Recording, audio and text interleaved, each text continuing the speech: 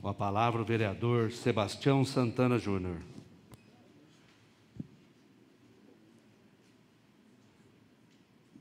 Senhor presidente, colegas vereadores, a minha saudação a todos, minha saudação a todos os senhores e senhoras aqui presentes. Cumprimento a todos é, na presença aqui dos ex-vereadores, né? do professor Garcia, fomos vereadores juntos aqui nessa casa. Agora, me parece que já foram embora, né? mas também estava aqui o ex-vereador e ex-presidente Sabará, o mestre Sabará, grande amigo. Bem, quero cumprimentar também de maneira especial a Alessandra Baltazar e dizer para a Alessandra que foi uma satisfação muito grande, né? A gente está participando do quinto Conexidade e participamos junto, eu e os colegas vereadores aqui desta casa. E pela primeira vez, Batatais teve um standard, né, num evento tão importante como aquele. E a Alessandra Baltazar, a Paula, que é a secretária, né, de Cultura, e também a Jane, é, fizeram um trabalho muito bonito. No nosso stand é sempre é, cheio de pessoas, né? E buscando informações aqui do nosso município. Foi muito bacana, Alessandra. Vocês estão de parabéns, tá? E, portanto, senhor presidente, foi muito bom, é, inclusive a participação de todos nós, colegas vereadores, buscando mais informações, podendo, inclusive, nos adquirir mais conhecimento. De fato, foi muito bom. Bem, senhor presidente, eu quero é, ressaltar aqui sobre uma questão que eu venho, eu venho falando muito, inclusive fotografei, né? mas não vou dizer denunciei, mostrei né? os, os diversos pontos da nossa cidade, em torno da nossa cidade, que é um, um, um grande lixão. Né? E, então eu quero aqui dizer que alguns pontos estão sendo recuperados já.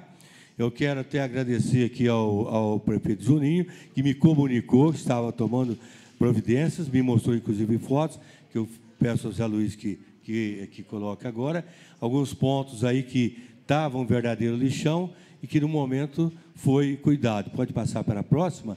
Aí também a gente vê que estava muito grande o lixão, está recuperado, pelo menos no momento. Né? E tem um outro ponto, né, que aí é lá no, no, no, no, bairro Davi Rodrigues, naquela rua que passa em frente ao Nore e morre nesse fundo aí, frente a uma APP, e que estava um lixão muito grande, enorme, e que o prefeito Juninho mandou é, limpar né, e colocar, acredito que tá, tenha colocado placas lá, e agora, e outros pontos ainda estão a ser cuidados.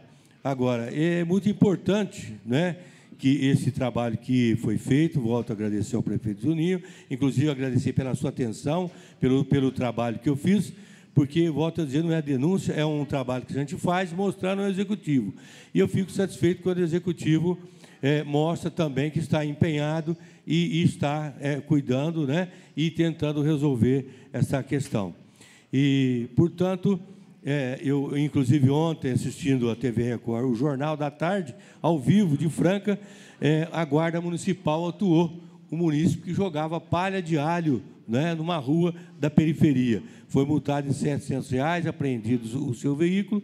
Eu espero que aqui em Batatais também aconteça isso, com pessoas que vão jogar lixo doméstico em volta da nossa cidade, sendo que passa caminhão para pegar o lixo dia sim, dia não. Então, por que a pessoa colocar o lixo no carro, sair para jogar fora da cidade, sendo que o caminhão passa na sua porta?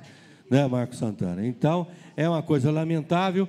Agora, com respeito ao sofá velho, guarda-roupa, eu espero que o executivo é, arrume um lugar o mais rápido possível. Inclusive, o prefeito Doninho me mostrou é, exemplo de outra cidade que tem ecopontos, me mostrou inclusive fotos, que ele pretende muito em breve estar colocando, né, como a vereadora Marilda Covas também já muito solicitou, esses ecopontos para que possa estar recebendo o lixo e dali a prefeitura destinar para o seu destino correto. E aqueles que continuar jogando em volta, realmente ser punido, ser multado e, se a lei permitir, até preso, porque não pode continuar a nossa cidade um, um, um perfeito lixão em volta, como tem acontecido. Muito bem, senhor presidente. Então é isso. Eu, eu, eu quero, eu esqueci de saudar aqui também o ex-vereador e o grande jurista, nosso advogado, o doutor Freitas, que tem um programa excelente na, na, na Rádio Difusora todos os sábados de manhã que leva um verdadeiro aprendizado para a nossa comunidade. Parabéns, doutor Freitas. Muito obrigado, senhor presidente.